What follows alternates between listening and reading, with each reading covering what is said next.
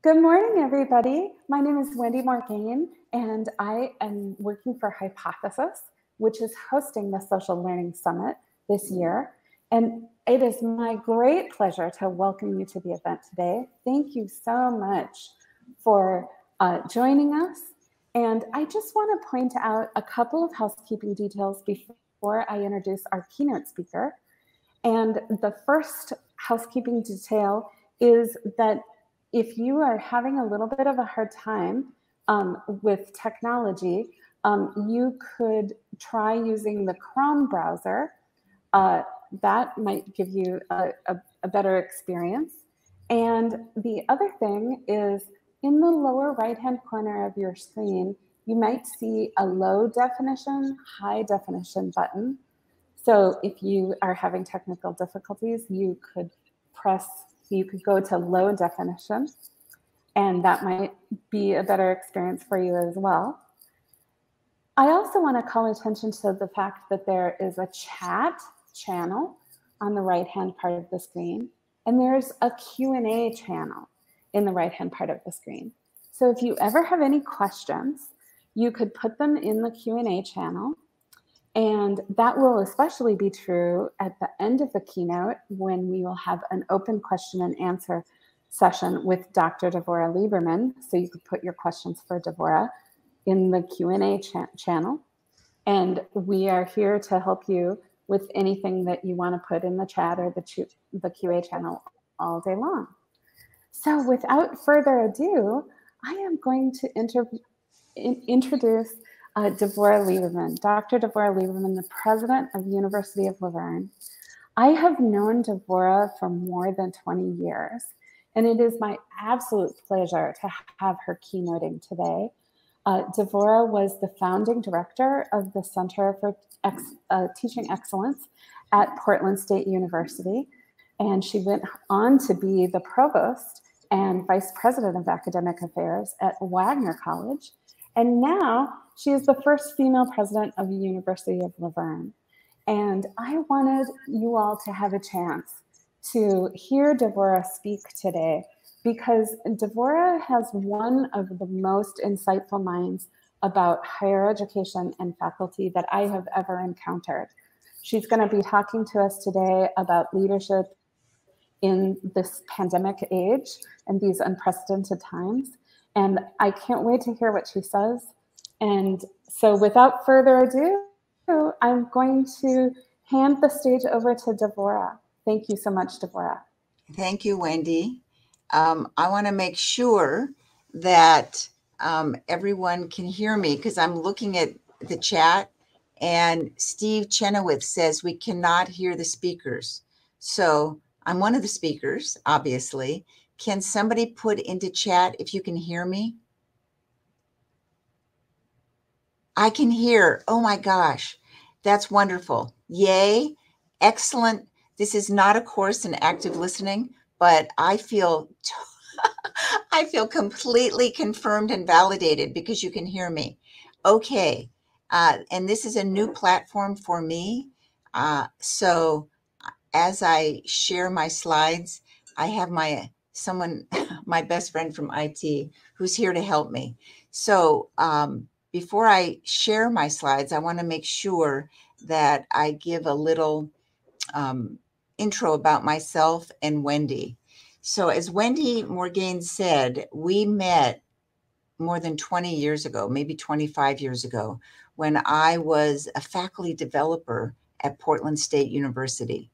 And one of the things that I've mm, carried with me my whole life authentically is sort of Maya Angelou's um, philosophy that people may not remember you, I'm paraphrasing, for what you've accomplished, but people will always remember you for how you make them feel.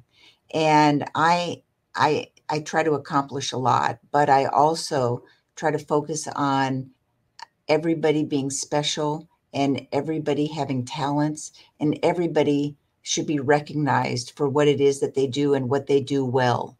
So, what I want to say about Wendy Morgain is when I met her 20, 25 years ago, she was a graduate student at Portland State. at Portland State University in Portland, Oregon. Uh, when I met her, she made such a beautiful impression on me because she made me feel like I was special and that I um, was having an impact on others.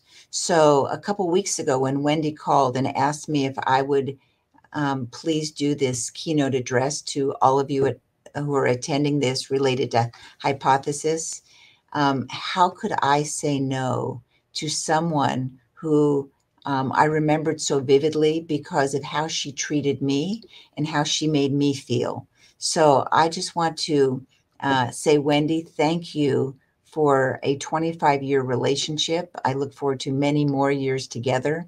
And thank you for asking me to do this. So, lesson number one is you can accomplish a lot, but how you make others feel authentically will make all the difference in the world. And the other thing that I'm going to, you know, Wendy said she read an article that I'd written about how to wear bifocals uh, during a post pandemic period. And if I said to our students today about wearing bifocals, they would probably say, I don't really know what bifocals are because I think that's a generational thing. But um, when she read that and she said, "This is what our this is, this would be very good for the audience." One of the things that I really want to emphasize throughout this um, relaxed conversation that I'm going to be having with you is I believe more than anything else that there are it's successful leadership and significant leadership. And I don't think there's any literature on this. This is just my own personal philosophy.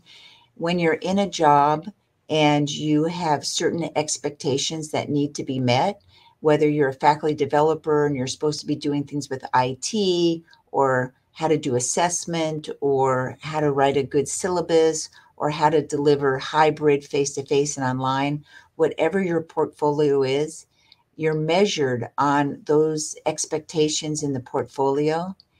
Um, I would like to add that we only live on this planet, I believe, one time. We only have one life.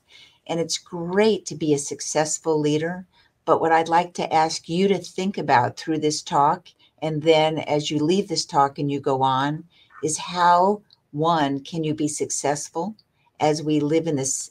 And I called it a post pandemic, but I don't even think we're not through the pandemic. So, through and beyond the pandemic, how can you be successful? But more importantly than being successful is how can you be significant?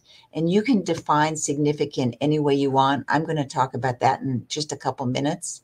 But um, please think about how can you be successful in your career but more importantly than success is how can you be significant with your impact on others? And if you could measure both, at the end of my life, I would like to be measured on how significant I've been, uh, not just how successful I've been. So, with that, I'm going to, I've never used AirMeet, so please be patient with me. Um, I'm going to go to, I'm going to talk myself through this. I'm going to go to share screen. Then I'm going to go to share screen. And I'm going to click in the middle of the box, share. Okay, I have IT with me. And now I'm going to go down here to the PowerPoint. Uh, sorry, don't judge me, everybody. And now I'm going to go to slideshow. Okay. Now, I can't see the chat. Um, so I'm hoping you can all see this. How do I know that you're able to see this? Tong, how do I know that they're able to see this? They need to tap on there. We don't know. Uh, Wendy, okay. Maybe Wendy. I, I, I'm gonna just start. Okay, Wendy. uh, I'm not sure this is working. But with that, it's. Okay, so I'm just gonna uh, get going with this with the the slideshow I presented, I, that I prepared. Okay, Devorah, we can hear you, we can And- see you, and we can see your slides. So go Oh my right God. ahead. Thank you so much. yay! Um, how do I look? I let my hair go complete. I stopped coloring it during COVID. So don't judge me on my hair or my looks. Let's get to the PowerPoint slide. Thank you, Wendy. So uh, here we go wearing leadership bifocals in a post pandemic university. So here's, as I thought about this, here's what I, uh, here's what I want to talk about for the next oh, 20 minutes or so the who, the why, the what, and the when. So I think uh, this is about leadership. This is about successful and significant leadership, who you are um, and who we are, um, and how your leadership, this is all about a leadership frame because higher education today is not what higher education was five years ago, three years ago, uh, and not what it's going to be in the future. So, how is your leadership, whatever your role, and if your role was is a professor or a faculty developer or a higher level administrator or a president, um, how is your leadership going to make a difference as um, we move into this post-pandemic world? So, I'm going to talk a little about who I who I am, and you're going to talk about who you are I can't see chat, so you'll have to put it into chat on yourself. And who are we? And why is this topic important to us today? Um, what we'll be focusing on in um, the post pandemic world as higher education, because higher education, as I said, has changed, and people's perceptions of higher education across the country and the world have changed, whether you're in the US or um, outside the US when do we use the leadership skills that I'm going to be talking about? And how do we truly lead wearing our bifocals? And I think leadership today is uh, different than leadership in the past. So, to uh, spend a few minutes on who I am, who you are, and who we are. So, let me talk a little bit. Um, I don't want to make this about me, but if you're a leader today, and I think everybody in this um, in this, I was going to say Zoom room, in this air meet room, each one of us is a leader in our own area. We might not lead an entire university, but if you're a professor, you're a leader in your class. If you're a faculty developer, you're a leader on your campus.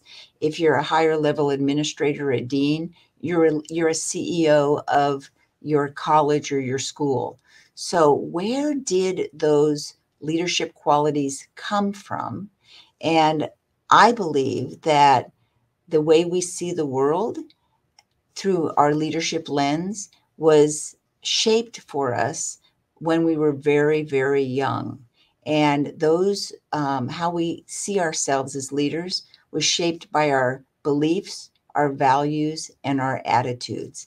And that's what led to what are what you are because everybody has a different you can read a hundred books on leadership and you'll get a hundred different definitions i'm talking today about who you are as a leader and what you think your leadership qualities are and where those came from so beliefs i don't want to turn this into a class but beliefs are basically what you were taught when you were very young by your teachers your religious leaders by uh, others in your family and your friends.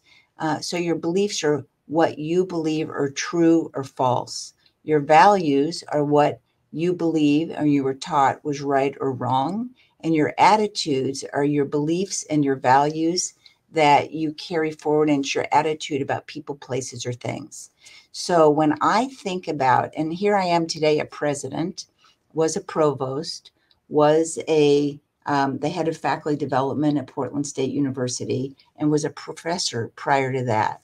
So, in each of those roles, I had to develop my own leadership qualities based on my beliefs, my values, and my attitudes about leadership in higher education. So, when I was preparing this talk, I thought about where did my view of what a leader should be and what a leader should do because there's doing and there's being. Where did those come from? And each one of you um, will have different answers to where your leadership sort of shaping your lens for leadership. Where did that come from? And when I thought about this talk, I really dug deep and I thought when I was a child, I grew up in a house, a household, a Jewish household that was um, not necessarily religiously steeped in Judaism, but very culturally steeped in Judaism. So that was very important to me when I was a little girl. And my parents would say to me throughout my entire life uh, on Saturday mornings, they would say, Devorah, you have one obligation in life, one. And that obligation is tikkun olam, which is a, a Hebrew phrase which means repair the world or heal the world. So as I grew up with every weekend, my parents talking to me about what is tikkun olam and your obligation that no matter what you do as an adult, your obligation is to either repair the world, heal the world where you're seeing injustice. So that became my mantra, that became my core for life choices that I made. So as I grew up and then I went to college and got my doctorate with Tikkun Olam in the back of my mind, I I got my doctorate in culture and communication called intercultural communication. And why did I choose that? I chose that because I said, how am I going to make a difference through Tikkun Olam to heal the world? And in my own little way, I thought I can bring cultures, people of different perspectives, different views, different ethnicities, different religions together so that they could learn to communicate better and get along better and repair um, differences between either two cultures, two people, whatever. That became uh, intercultural communication. That became my way of um, leadership and choices that I made. So the qualities that for me that were defining what leadership was was what could I um, demonstrate in my various roles to repair the world. So my choices were to get a doctorate in intercultural communication and then to become a professor in intercultural communication. And when I was a professor, those drivers to always think of tikkun olam in my leadership roles. When I was asked by the administration at Portland State University to be the director for the Center for Academic Excellence and the head of the Teaching and Learning Center, I thought about is this the right trajectory for me to be a leader in tikkun olam and bringing people together? And the answer that I said to myself was, and it was never, I money is not a driver for me, compensation, because it wasn't about how much money is this going to am I going am I going to have a higher salary? It was all about am I going to have greater impact? So when I was offered the position uh, at the Center for Academic Excellence to be the head of the center and teaching and learning, I said to myself, this is a way that I can have greater impact on more people. Uh, and it was through teaching and learning. And I still believe that was a very, very good um, choice for me because I could have a, a broader impact than in the classroom with students, which I always loved, but I was always thinking about tikkun olam and uh, scope of influence and impact. So my leadership tr- trajectory was not necessarily a planned ladder.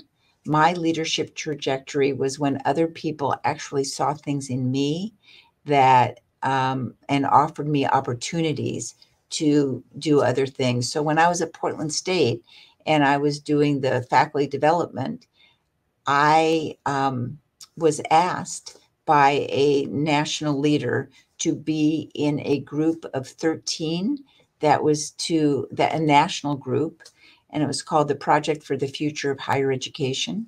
And the man who asked me to be in the group was another president of another university and he gathered these 13 people and he said uh, our job for the next three years it was all voluntary with our regular jobs at our universities was to focus on the um, the leader the uh, future of higher education. And I bring that up because this person saw something in me, reached out to me, and said, Would you be part of this prestigious group? While I was in the group, um, one of the other 13 people in this group was the president of a university in New York City. And he said to me, I'd like you to consider being the provost at this institution. I had never said, Oh, I want to be a provost. He saw something in me that I hadn't necessarily seen in myself because I said, Well, I'm at Portland State. I'm having this scope of influence. And when he said, I'd like you to consider this, I asked myself, Is this on the path of tikkun olam? And will I have a greater scope of influence? And will I learn as I'm in this other position? So that brought me to New York City. And then after I'd been there for eight years as provost, I got a call from a search firm and they said, We'd like you to look at the presidency at the University of La Verne. And I said, I'd never heard of this university. Um, and they said, Well, let me send you the prospectus for this university. And in the prospectus, here, and the university's in Southern California, about 35 miles east of Los Angeles. In the prospectus, it said this university was founded in 1891 and it was founded by a Christian denomination.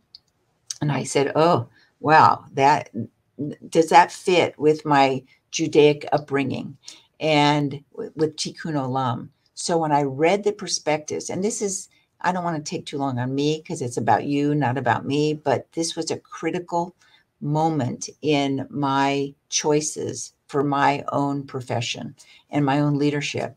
When I read the prospectus for the University of La Verne, it said in 1891, when the Church of the Brethren founded this university, they founded it on four values. And this is what started the prospectus.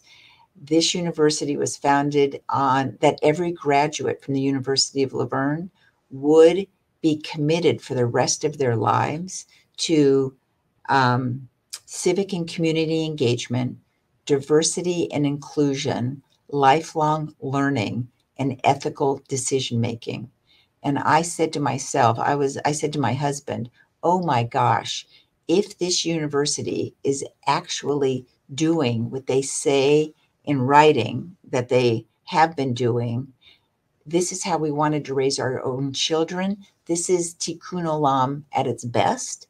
I'm interested. So I came out for the interview and I said, I'm really mostly interested in meeting the students at this university. So I see if they're living those values and if it's part of the water that this university is swimming in. Well, I flew out here, did not expect to be offered the position, met with the students, found that these students were living those values that founded this university, and accepted the position. What made the biggest difference to me was the the values absolutely but the student body. This student body at the university of la verne 60% of the students are hispanic about 6200 students overall. Um, about 60% of the students are the first to go to college in their families. Um, we um, have about 70% of the students are students of color it is the most diverse private not for profit institution in the state of California, and it is making a difference in the lives of thousands and thousands of students. These students didn't necessarily know they were going to go to college, and they came to a university that uh, gives them those values and a career path so that they will return to their communities and um, lift their community. That to me is tikkun olam. So that's a lot on those first three bullets and my trajectory. And I'm hoping that you're thinking about your leadership qualities, what drives you, and what has been your trajectory. Has it been to just follow a path? Has it been to be successful? Has it been to be successful and significant? What does that mean? And as you continue on your paths, how are you going to position yourself to be authentic with what you think are your leadership qualities? What are your drivers and your continuing trajectory? That's the second bullet. And because I cannot see the chat, Um, please put into chat anything that you want about your leadership qualities and your drivers. The third bullet how can we, as a profession of educators and people to support educators, how can we be leaders? How can we do it independently and collectively through this post pandemic world? And the one thing I know is that none of us can do this alone. When we say we're leaders, are you a leader alone or are you a leader that is influencing others so that you have an army, a team that's uh, moving forward the vision that you have? And is it your vision or is it a shared vision? I believe as we go into this through the pandemic in this post pandemic world in higher education that I said earlier is different than it's ever been before. Um, that we we need each other we need each other more than ever before so that we can do things together and we can um, adjust what we're doing so that we serve this country better, the world better, our students better, aligned with the mission of each of our institutions. So, why is this this topic so important to us today? As I said, higher education has changed. This is all my own opinion based on what I read every day and the data that are available to us. So I broke this down into three areas, actually four, but the first three. The external perception of higher education today is different than ever, I believe, than ever before. The when I say, and you've got public institutions, you have private nonprofit institutions like the University of La Verne. So Portland State is a public institution. What determines a public institution? Uh, most public institutions were created by the states and the legislatures, and they've got they are finding they have they're helping to be subsidized by the taxpayers, um, and they're non-religious. The private institutions get like La Verne get no money from the state, none. Um, the any money that comes from the state will go to students who have financial need. None come to the university because we're private. We don't use taxpayers' dollars. The private for-profit uh, institutions, the dollars from the profit can go back into the institution and go back to the shareholders or the owners of the institutions. So there's different ways that money comes to the publics, the privates. So at the University of La Verne, our, we are tuition dependent, as we say, enrollment dependent. Our revenue, our profit comes from the tuition from our students. It all comes back into the institution. It doesn't go out to any shareholders or profit or um, owners. The privates completely different story where the money goes back to the owners. So the external perception of traditional higher education, undergraduate and graduate, there's more skepticism today about higher education than ever before. And the skepticism has to come comes from what is the value of higher education. And today you have the Amazons and the Googles who have their own internal universities. They don't give degrees, they, they don't have to be accredited, but they, a lot of high school students and um, I call them sodas, students over traditional age who didn't necessarily go to college. Um, they are choosing, they're called the adult learners, they're choosing not to go to college or not to go back to college because they can make as much money and have a career path if they go to an organization where they get certifications and badges, etc., within that company, like an Amazon.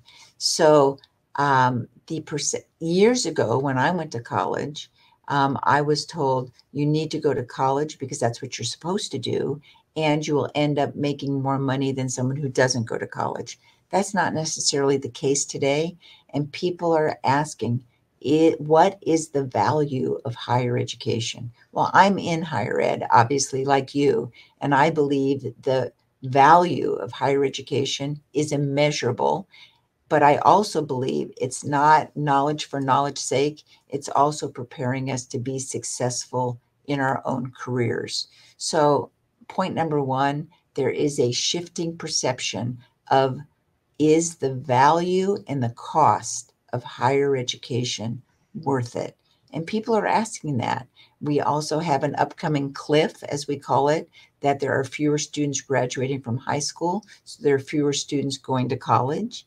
Um, the adult learner who is going to return to college to complete their degrees are not coming back because they're getting jobs and they're getting well paying jobs. And um, you've got this competition that we've never had before here in Southern California. We have ASU, we have Southern New Hampshire, we have Western Governors, we have more for profits than ever before. And there's more money being put from the state legislature into the publics than ever before. So there's a very big question in the world about the value of higher education. It's up to us to demonstrate that we have value. And I believe we do. And that's why I'm in this this profession. The internal perception of higher education within our own campuses, I think, um, especially through the point pandemic, that people are saying our faculty and our staff is what's the value of me staying in higher education? With the great resignation we are ha- we are having a very hard time holding on to our um, employees in technology in advancement, in HR, in all the areas outside of the actual delivery of the education in the classroom or on or virtually. So there's an internal perception uh, of um, do I want to stay in higher education? Is is there value in me staying in higher education? Could I have more significance and success if I'm not in it, higher education? So I am worried about this internally, and it translates to the word morale when I hear faculty and staff saying um, our morale is low. I'm saying, what does that really mean?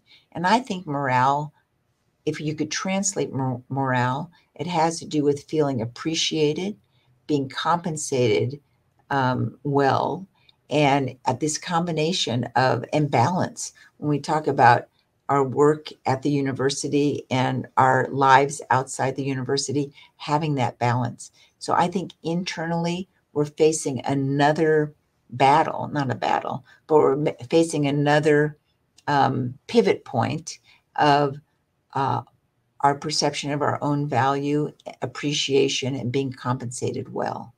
So here we are. And I keep saying the phrase wearing our bifocals for the needs today and the needs long into the future. Each one of us on this, um, in this um, Airmeet room, we, I'm asking you to please put on your bifocals and as leaders, be considering what are the needs today? What are the needs long into the future?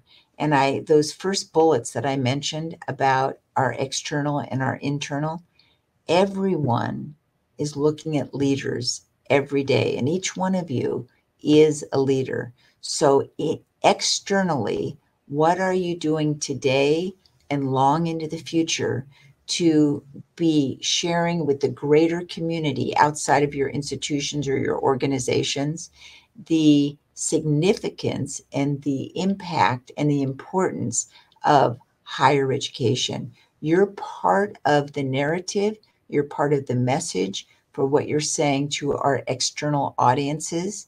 And I am out every day talking to external audiences about the importance of higher education. And one of the themes that I talk about is something we made up, I made up called the brain remain. Everybody talks about the brain drain, and that is losing people in your region. I talk about the brain remain. And for students 90% of our students come from this region. And our students come from the undergraduate programs, bachelor's, They come for our master's programs. They come for our doctoral programs. We're the most comprehensive private institution in this um, catchment area. So I'm out talking about the brain remain and the importance. So our students come from this region to the university, they get a degree, uh, they have a career path, they go back to their neighborhoods to lift their neighborhood. And um, for me, the brain remain is critical for helping all of our regions to advance and to lift and to be better economically, socially, etc. So part of your job, I believe, as a leader is to be sharing that same kind of narrative with your external audiences. Your leadership role internally, I cannot emphasize enough how important it is for a leader to be consistent, to be uniform, and to be predictable. And your role as a leader internally is to do whatever your portfolio says you need to be doing, but to also have this I don't mean false optimism, but an optimism that you share consistently with everybody at your university, in your organization, about the importance of higher education eh, today and long into the future. And the third bullet, the sustainability of our institutions. Uh, there are mergers, there are acquisitions, there are institutions closing on a daily basis. If you're in an institution that has that is a private not-for-profit and has fewer than a thousand students, and your students are middle and low income, and you're dependent on their tuition, uh, it's hard to think about sustainability. So institutions are merging, they're um, affiliating. They, and I'm not saying that's good. I'm not saying that's bad. But for long-term sustainability, we have to all look at all the options so that higher education doesn't just survive, but it thrives and it serves our students and our regions. So I'm saying we need to be wearing our bifocals today, for today, and long into the future so that we can um, help our institutions and our organizations be successful. So, how do we do this? Well, for me, as a leader, as a president, um, I'm always saying, how can I have more empathy? So, empathy, listening to others, understanding where they're coming from. You cannot over communicate. Communicate, communicate, communicate. I talked about leading alone and leading together. If you're leading alone, do you have any followers? If you're creating a shared vision as a leader, talking about where we are today, and people get stuck in where we are today as a leader, having the vision and gathering your followers and your partners so that you're leading together. And as Hypothesis talks about, connection is critical. And I'm I couldn't agree more. Connect, connect, connect with the people, with your students, with the people on your teams, with the people across your campuses, with your greater communities. And trust, if you're consistent, you're uniform, and you're predictable, your trust, the, the trust that others have of, have of you will continue to rise. I always say trust takes years to build and it can be lost at the speed of light. So, uh, and I, I, I'm not perfect. Oh my gosh, not by any means. And I have lost the trust of some uh, people at various times. And then I think about why did that happen? Well, I did not meet their expectations. I either did not empathize enough, I didn't communicate enough, um, I was leading alone rather than gathering others around me. And maybe I wasn't connecting enough. So the minute I know that I've lost somebody's trust, I'm always um, trying to be very strategic how I can gain that back. And when I'm wearing my bifocals and thinking long term um, and engaging them to be part of this long term vision, I use empathy, communication, leading together, connecting, and always trying to build the trust. So, when do we use these leadership skills and wearing our bifocals?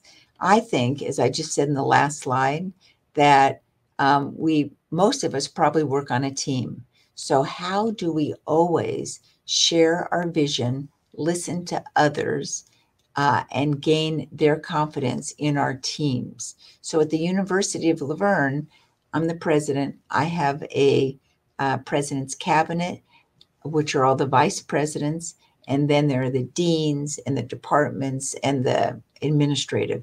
So each, um, I'm I use the word bifocal vision and confidence with the entire campus. So everybody knows this.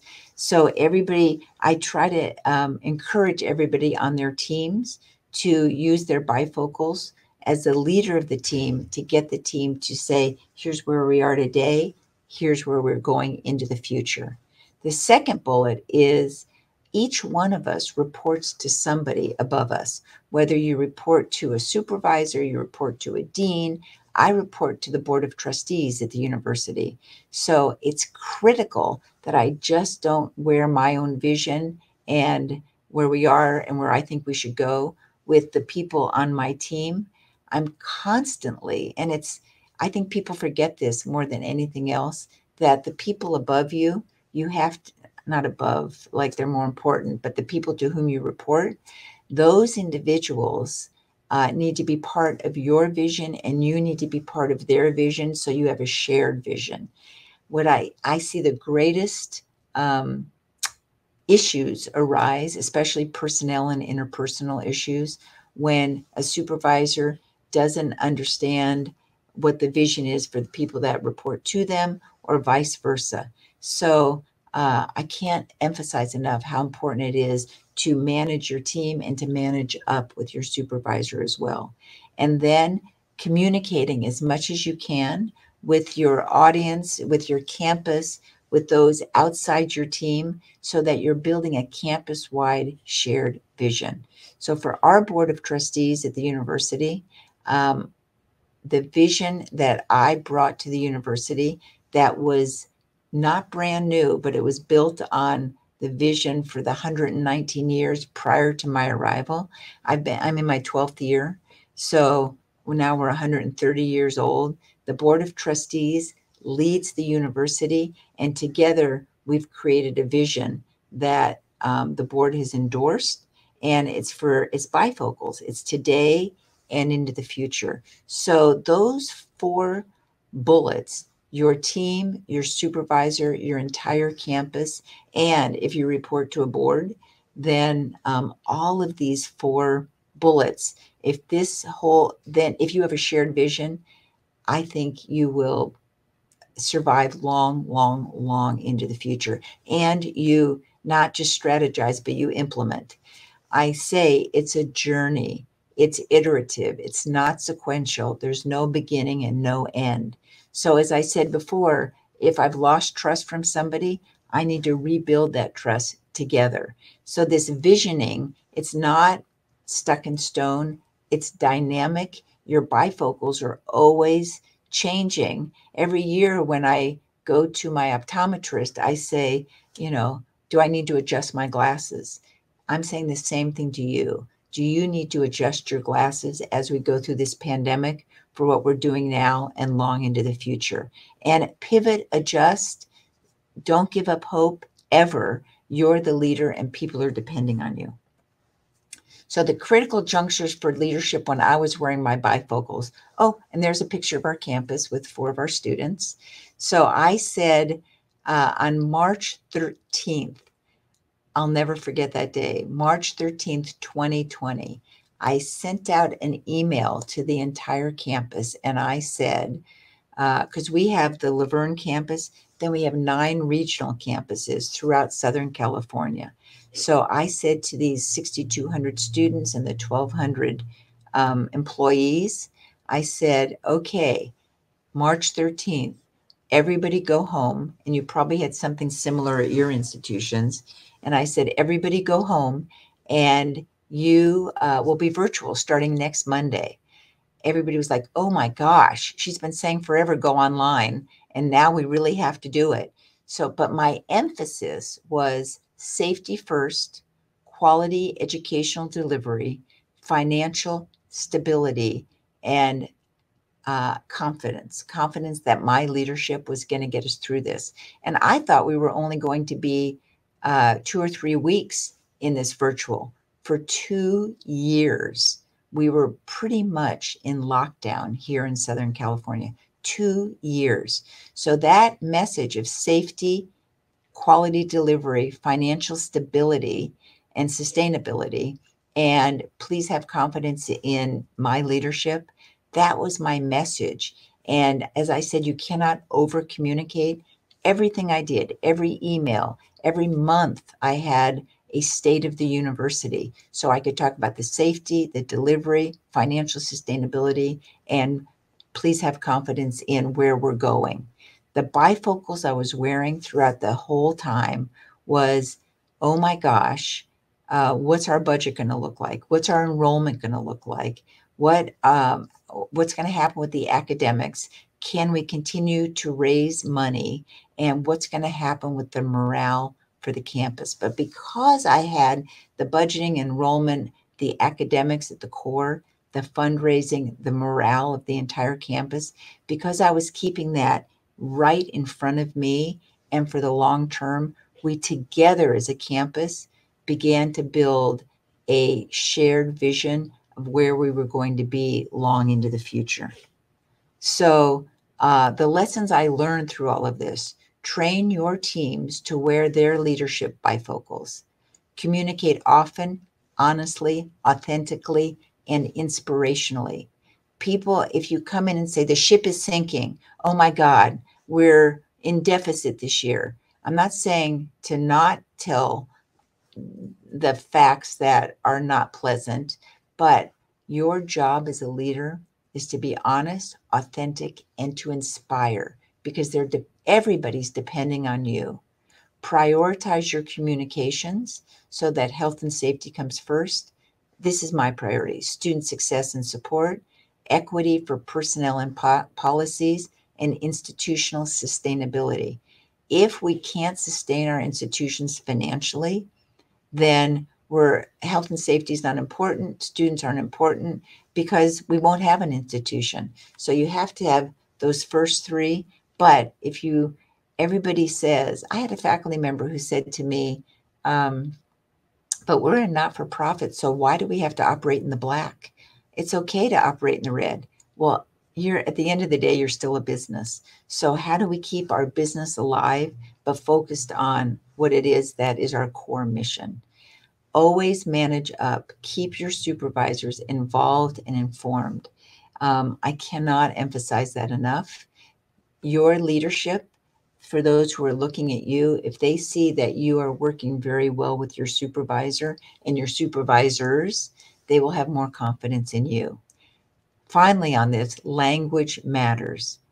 Always select language that is respectful, inclusive, accessible, supportive, and inspirational. If you use ad hominem language, if you tear people down, if you gossip, um, if you um, create little clicks, it will work against you. So I'm asking you, as your leader, to always be thinking Am I being respectful? Am I listening to all voices and being inclusive? Am I accessible to people? I'm too accessible. That's one of my weaknesses, but um, accessibility is critical. Am I being supportive of those around me? And are they looking to me to be inspirational? Um, so, very quickly, the current example of my, me wearing bifocals at the University of La Verne in 2018, uh, 2019, we did our last strategic vision, uh, and we called it the 2025 strategic vision. Then COVID hit.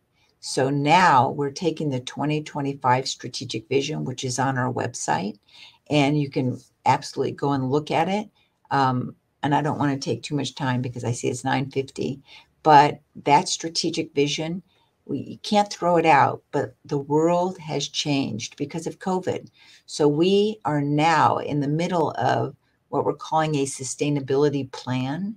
And that sustainability plan is aligned with the strategic vision, and it's has to do with how are we going to implement um, incremental initiatives, bridge initiatives and transformative initiatives that align with our vision, align with the mission of the university, but make sure that the revenue is much greater than the expenses. So it can't be just to grow and increase our student body, which is part of the plan, but it also has to be about what are we going to do less of?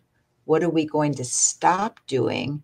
And how are we going to reallocate so we can absolutely meet our transformative, our bridge, and our incremental initiatives?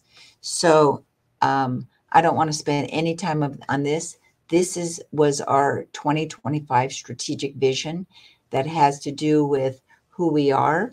And at the bottom are what are the incremental, the bridge, and the transformative initiatives so that we can absolutely build our sustainability plan to do uh, those incremental bridge and transformative initiatives to be here for not just 130 years, but for the next 130 years. So now I'm going to take, Tung, can you help me?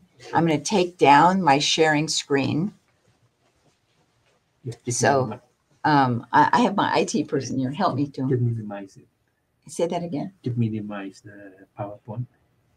Minimize. Yeah. Oh, minimize my PowerPoint. Great. Yeah, that's it. then Okay, and now sharing. Stop sharing Yeah, right right here. No, Uh, where is that, Tung? Right the second one, the red one, and the bottom one. Right here?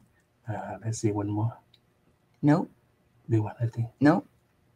Stop sharing. Stop presenting. Oh my gosh. Okay. I'm- I, tell me you could hear me for that last 40 minutes. Yeah. Okay. Wendy, um, are there questions that you want me to answer in the next couple minutes? Thank you, John Jordan from Fresno State. We heard you. Yay. Okay, I'm going to look and see. Uh, oh, Hi. thank you, Nellie Deutsch. Nellie, my mother's maiden name was Deutsch, so I feel very close to you. Thank you for Dev- saying it was great. Devorah, there is a question in the speaker chat, and I can read it aloud to you. Okay, would you? Uh, I can answer it. Yeah, there's a quote on the La Verne Experience Program website, and the quote is Real learning cannot happen in a vacuum. Can you talk a little about that program and your ideas about students learning socially, especially as they relate to issues of equity? Uh, yeah, and I'll do it very quickly because I see um, you're probably going to be going to your next session soon. Um, and this came from Portland State. When I was at Portland State, um, I was indoctrinated, and tikkun olam, it was it resonated with me that at Portland State, when you drive into the city of Portland, it says "Let knowledge serve the city," and that became sort of the mantra for the campus. How can what we're doing on campus enhance our community? So, fast forward to the University of La Verne, um, the concept of civic and community engagement, which was one of the founding values of the university, that became part of um, our first year experience, which is called Flex, for the freshman La Verne experience. It became part of Solve, the sophomore La Verne experience, and the part of the senior capstones. So it's all about connection between and among um, disciplines, but every one of the classes has to have a community based component where students, it's not just, you know, doing community service. That's beautiful, but it's not it's not enough. It has to be connected to who you are, your own reflection, and the courses that you're studying and the major that you choose or may choose. So that when you're doing community engaged work, you're enhancing the community, you see the impact, and you're also enhancing the learning that you're having in your classes, and you're connecting yourself to with the other students, with the community, and your disciplines. So that's at the core. And because we're such a diverse, unbelievably beautiful Hispanic serving institution, federally designated, that is part of the water we swim in at the undergraduate and the graduate level. Wendy, next question.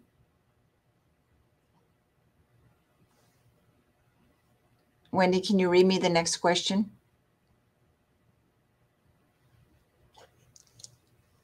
Okay, I don't know if you can still hear me. Oh, Wendy's back. Yay. This session will Hi, go. hi, Deborah. I was just asking the audience if they had any questions. And so this is a great time for folks to put their questions in the Q&A because we do have a little bit of time for questions.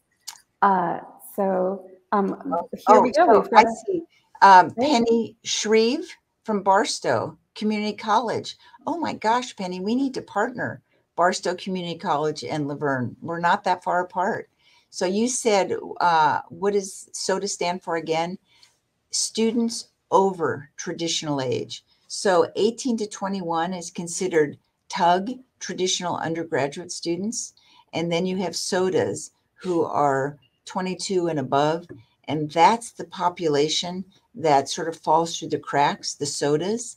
People call them adult learners. I call, and I think we're all adults. So um, I call them SOTA students over traditional age, because we want those, that student body to know that higher education is available, accessible, and will help them professionally and personally. So I say SOTA students over traditional age.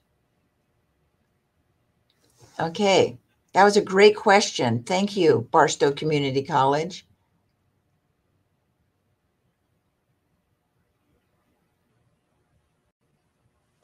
Okay, I, I'm not seeing any other questions. There was one other question, Devorah, that is um, how does your compassion fit into your idea of leadership? And um, there's another question in the Q&A chat, but I will let you, I'll stop and let you answer this one first. Okay, so the how does compassion fit into my leadership? Um, that's a great question because I try to lead with my head and my heart, and I my heart gets very heavy when here's an example, a, a small example. The maybe two or three weeks after we um, went virtual, and we didn't know how long we were going to be virtual, I came up to campus and I said, uh, I wanted to make sure the buildings were still standing. I walked into my office. There was mold in my coffee that was still on my coff- on my desk because nobody had been here for three weeks or a month. And I went to the parking lot, and there were about 15 or 20 cars in the parking lot. And I was like, what are those? What, what's going on? So I went to the cars, and every car had a student in the car. And I knocked on the windows and I said, um, What's going on? And the students said either they had no, they had too many people at their home, so they didn't have access to uh, the computer or the Wi Fi to access their online classes, or they were homeless and they had nowhere to go. They were sleeping in their cars, they were on campus, and they were um, accessing their their courses from their car where they were sleeping. So, leading with head and heart, I guess, I said, Oh, this is impossible. So I said, uh, You, anybody who's homeless or housing insecure, we're going to provide you space in the residence halls. So we retained one of our um, dining hall staff, and we had a we brought back a couple of our um, residence hall staff, and 150 students moved into the dorm the next week.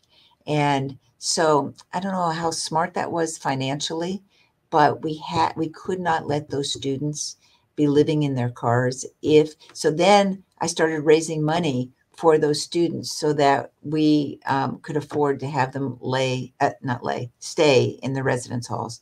So i think leading with compassion but with your head so that you have to look at the bottom line of the institution but it can't just be all about the money. It also has to be how are we going to support the mission and the students and the faculty and the staff who work here? So it's with love and also your head.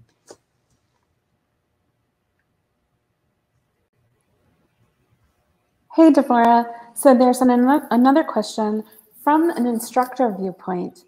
how can we help our students become better and stronger leaders inside and outside of the classroom?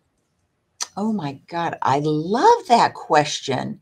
So let's say you're teaching, I'm making this up, statistics, and you'd say, wow, there's no, how does leadership fit in with my course on teaching statistics? I think that every single course that we teach, um, Tikkun Olam has a, uh, a element of that course where we are um, inspiring our students to become leaders, no matter what they do and no matter what they choose. Leadership's for good cause, and leadership's just me to make our world better. And that may sound um, kind of naive, but our jobs are to educate students to make the world better through the skills that we're giving them. So if you're teaching a statistics class, I would say, okay, use the statistics skills that you're teaching them, use the activities around how to learn data and statistics, and have your um, homework and the activities having to do with the community and something with statistics so that they're using the statistics to be leaders in the community. I know that sounds vague, but there's so many ways that you could do that with every single class that you teach. And you don't have to call it leadership, but you know you are teaching them to be confident, strong, visionary, supportive leaders for their entire community. That's great, Devorah. There's another question uh, that has a couple of parts. So, first of all, how can we counter the trend of anti intellectualism and political views that higher education is a form of indoctrination. And the second part is how can we use compassion, optimism, and bifocal vision to help change some of the rhetoric around higher education? Oh my gosh. Is my time up? uh, okay, the first one is um, you know, it's very easy to talk about intellectual and anti intellectual. I I always come back to what's our core. And I don't want to label intellectual, anti intellectual, the rhetoric. I always come back to what is our core mission? And for me, our core mission is to educate our students to become very, very successful and civically engaged community members. So the minute we start labeling intellectual, anti intellectual, um, are you Republican? Are you Democrat? Um, higher ed is a waste of time. All of that. Um, then I, I I don't want to get into that debate with individuals because you can't win it. Everybody has their own view. So I always come back to that our job is to help you be successful financially. So here's one small example. US News and World Report has a new category called social mobility, and they looked at what are the predictors and the predictions and the projections that your students what is their socioeconomic are they going to graduate and do they go out and get jobs that lift their families and their communities. And this last year in the entire country in US News and World Report for social mobility the University of La Verne ranked 7th in the country the number 1 private institution uh, or the first private institution for social mobility. How did that happen? I think that happened because we stayed focused on who our students are, what our students needed, how we could lift our students, and how we could prepare them for successful careers and to be civically engaged post graduation. And I think that's why the University of La Verne ranks so high in social mobility because we've stayed focused on that vision and that mission. Thanks so much, Devorah. So you probably remember that Hypothesis is all about social reading and social annotation. And one of the questions is about uh, the Jewish tradition of the Talmud and, and commenting about that as a form of social learning. Just thought you might be able to Wow. on that. As a form of social learning. Well, I'm not sure exactly what that means. However, every Saturday morning, so two things. Every Saturday morning, my father would sit with the three children, myself and my two brothers, and there was a book called Pirkei Avot, which comes out of the Talmud. And Pirkei Avot are sayings of ethics from the rabbis for the last 5,000 years. And he would read one of the sayings, and one of the sayings was Tikkun Olam. And he would say to the three children, What does that mean to you? And we would discuss it for, I don't know, 20 or 30 minutes. And then he would say to the three of us, my two brothers, I was the baby, the only girl, um, how are you going to demonstrate Tikkun Olam with each other for the next week? And then the following week, next Saturday, the three of us would sit at my father's feet and he would say, Okay, how did you demonstrate Tikkun Olam this past week with each other? And we would talk about it. And then he would read the next saying, which would be something like, uh, There are four kinds of people those who are easy to anger, easy to forgive, quick, uh, fast to, uh, not easy to anger, fast to anger, fast to forgive, uh, fast to anger, slow to forgive, and the permutations of those four. And then the next week, we would come back and he'd say, How did you implement that in your life? So um, that became a, that was normalized for us. It was every Saturday morning. When I came to the University of La Verne, I believe so deeply in interfaith, people coming together from different faiths. So now we have weekly wisdom and we have a faculty member who meets with students uh, and he reads the Pirkei Avot to the students of all religions so that they can begin to sort of normalize, have those conversations for themselves. So I think those kinds of conversations, and it doesn't have to be the Pirkei Avot, it doesn't have to be Tikkun Olam, but it's the values that come out of interfaith that will make us all appreciate each other, get along better, and have the skills to do the same after we graduate. Now you know way too much about my child, Wendy, and the rest of you. That was great. Um, there is another question um, that is about your advice about practices that folks can use to really know who the students are in their course, especially if it's a larger course. Um, a practice like surveys was suggested, but I wondered if you had some other practices that you would recommend. Hmm.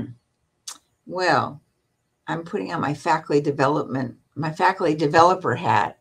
Um, I, and especially because I teach, I still teach, um, and I've taught face to face since I've been here and now virtual. Um, and I always um, try to make space and place for students to feel they can talk to me, talk to each other, trust each other.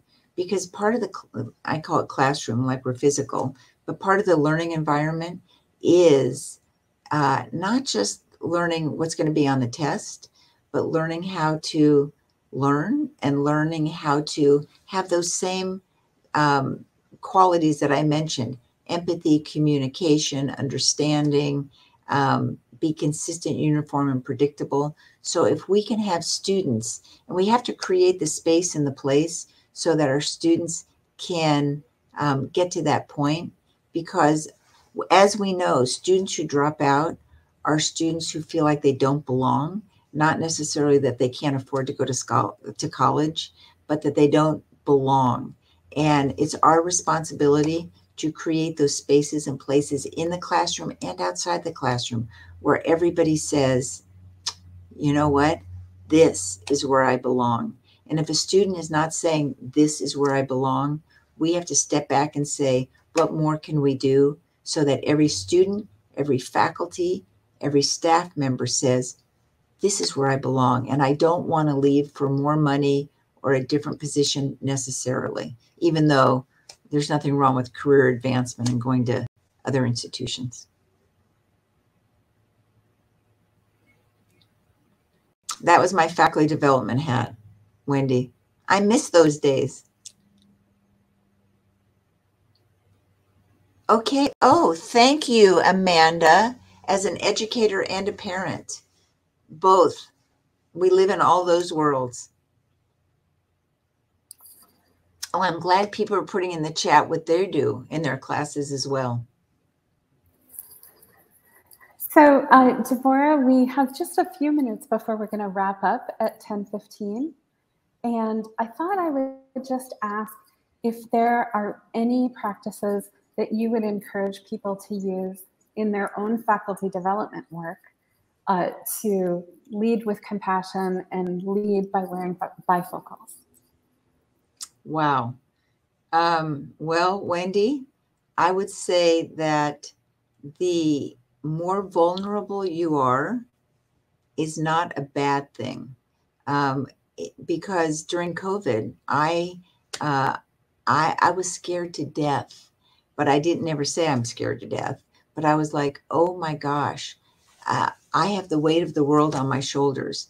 And I told you every three weeks to a month, I had a state of the university uh, with 800 people on the Zoom. And I would start saying, I, none of us know where this is going to take us, but we have to go there together. I'm worried, I'm anxious, but I know that we can do it as a campus. And if you did that same kind of thing in your classroom with your team so that you're vulnerable, honest, but they're looking at us as leaders to lead them through with them with a shared vision.